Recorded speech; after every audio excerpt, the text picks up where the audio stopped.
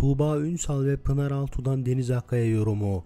Söyledikleri şoka etti. Eski manken Deniz Akkaya'nın 16 yaşındaki kızı Ayşe ile yaşadığı kavga gündem oldu. Akkaya sosyal medya hesabına yaptığı açıklama da kızı Ayşe'nin kendisine saldırdığını ve balkona kilitlediğini ve eve polis çağırdığını söyledi.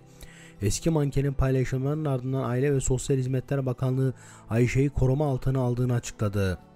Ünlü oyuncu Pınar Altuğ katıldığı davette Deniz Akkaya'nın kızıyla yaşadığı sorunlar hakkında konuştu. 15 yaşında bir kızı olan Pınar Altuğ çok üzgünüm. Ergenlik zor bir süreç. Anne kız arasında çatışmalar çok normal ama bunun boyutunu bizler tam bilmiyoruz. Buna kimsenin de bir şey deme hakkı yok. Umarım kısa sürede sorunlar çözülür ve onlar da rahatlar dedi. Pınar Altuğ ve Yağmur Atacan'ın 15 yaşında su adlı bir kızları var. İki çocuk sahibi olan Tuğba Ünsal konuyla ilgili sorulara bu konuya hiç girmek istemem. Çünkü ben de bir kız çocuğu büyütüyorum.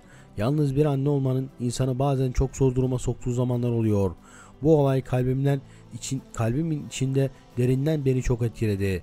Sevgi gönderiyorum hem anneye hem çocuğa. Ama bunun dışında anne çocuk arasındaki ilişkiyle ilgili hiçbir cümle kuramam. Biz getiriyoruz onları dünyaya. İyisine kötüsüne bin şükür hayatta yaptığım en güzel şey anne olmak çok güzel, çok özel bir şey diye yanıt verdi. Tuğba Ünsal'ın Sera adlı bir kızı ve Civan Mert adında bir oğlu var. Şimdilik videomuzun burada sonuna geldik. Gündeme dair gelişmelerden anında haberdar olmak istiyorsanız aşağıdan kanalıma abone olup bildirimleri açabilirsiniz. Renkli sayfalar.